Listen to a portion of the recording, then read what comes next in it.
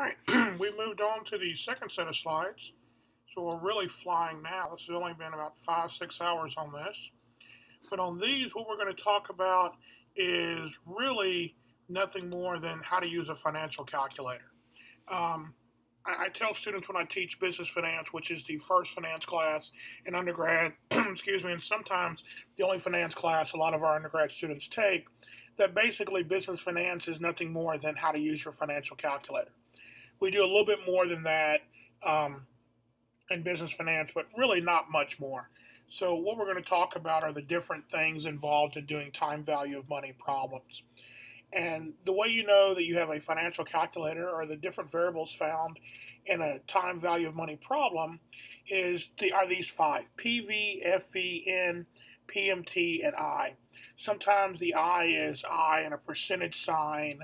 Um, sometimes it's N slash Y, but those are basically the five, and they're usually all on the same row on your calculator. Um, so we're going to talk about each one of these and what they really mean. Excuse me again. PV is present value. It's actually the, the variable is the amount of money today or in today's terms. Um, we're going to call it different things throughout the semester. Sometimes it's called price. Sometimes it's called market value. Sometimes it's called market price. But all of these involve the value today, this instant. So if Bob has the ability to pay $10 today, that $10 is the present value, the amount to be paid today. If that's what the price of it is, is $10, that's the present value. Next is future value. Future value is the amount of money you're going to receive in one lump sum at some point in the future. So it's a one lump sum payment. I've got lump sum in all caps because we're going to talk about another set of future payments, but it's not a lump sum. This is a one time lump sum amount of money. So in the example we just had, the $12 that Bob will get in, in two years, that's $12 he's going to get one time at one point in the future. So that's the future value. Future value really doesn't have a lot of other terms or names we go by. Um, N is the number of payments. This variable is really the number of compounding periods. Um, so a compounding period is it occurs when investments are in compound interest.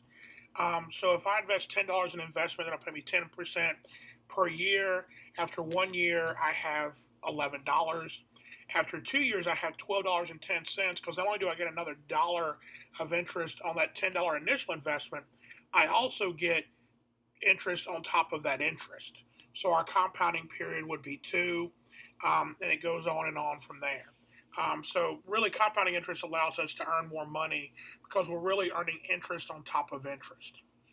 Uh, PMT is payment, and really what this is, it's the amount of each periodic cash flow. Remember I said future value is that one-time lump sum? Well, periodic cash flow means you get a series of payments in the future. So at the end of one year, you get three bucks. At the end of two years, you get three bucks. Three years, three bucks. Something like that. It's a periodic set of cash flow payments. Um, and most of the time, the periodic cash flow payments will be the same each period. Uh, you know, if you look back at that quiz we did, um, you know, the $106 received in years one through five for option C would be payment. Um, and the MBA class will actually change this up. We'll have different periodic payments, and we'll have to figure out how to work those.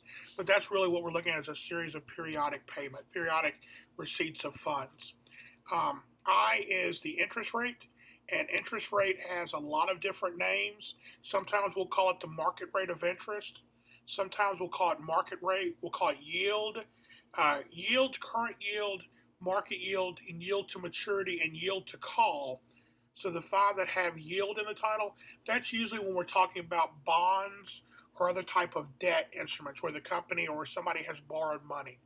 Market rate of interest, market rate, and required rate can be stocks or bonds. Usually required rate is just done for stocks and market rate or market rate of interest can be either way.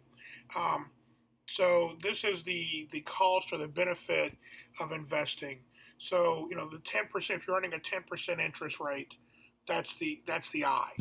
Um, so for a very simple example, Bob has been offered an investment that pays him $1.50 per year for five years. And then at the end of that five years, he gets 10 bucks. Um, if he requires 10% on his investments, what is the value of this investment for Bob? In other words, what's the most that Bob would pay today to be able to receive $1.50 per year for five years and then $10 at the end of that five year period? So, plugging it into our financial calculator, our number of periods is five because we're going to receive five periodic payments. The interest rate or the market rate of interest is 10%. We're actually going to get $10 at some point in the future, the lump sum in the future. It's actually be five years in the future. And then each year we're going to get $1.50.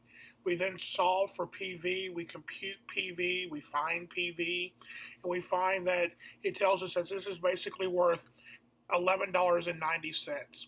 You'll notice there's a negative the reason why it's a negative is because to buy that investment, you have to spend $11.90. That's money leaving your wallet, leaving your account. You have to keep track of negatives and positives, or you're going to get an error message on your calculator. Um, so if somebody, if they came up to Bob and said, "Hey, you can get this investment, it only cost you 12 bucks," would you do it?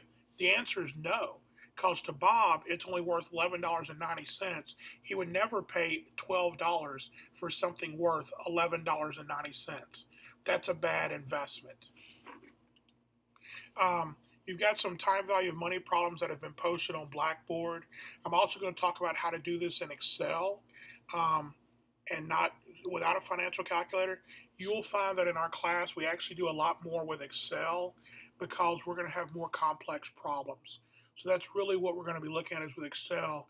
But you need to know the basics of with a financial calculator or with whatever so you understand what goes where and what the terms are.